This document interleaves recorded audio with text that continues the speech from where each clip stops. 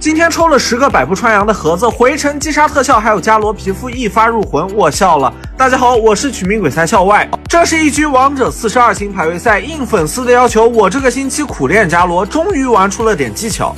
这边把狄仁杰按在地上打，很可惜只差那么一点伤害。哟，他还想平 A 加一技能秒掉我，我笑了。伽罗技能加点不是一成不变，刺客多就主二，快速清线发育。如果对面没有针对你的，你就主一，打的强势一点。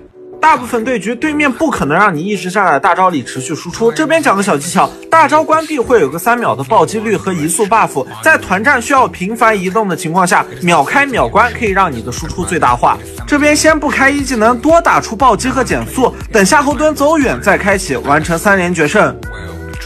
这边从侧面草丛直接开启一技能，点狄仁杰，诸葛亮准备进场，我们瞬间开大点诸葛亮。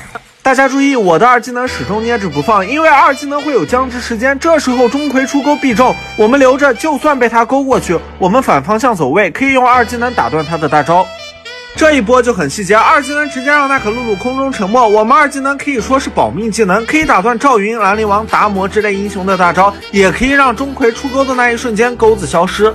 这里我正打得起劲，钟馗偷偷摸摸一个钩子把我给打懵了，闪现到这个小角落，我一点都不慌。这地方感觉输出位置刚刚好，我笑了。他把这狄仁杰害得没地方躲，满血诸葛亮又来了。我承认我已经慌成马了，一技能没关，没蓝射不出去，我在这里鬼畜。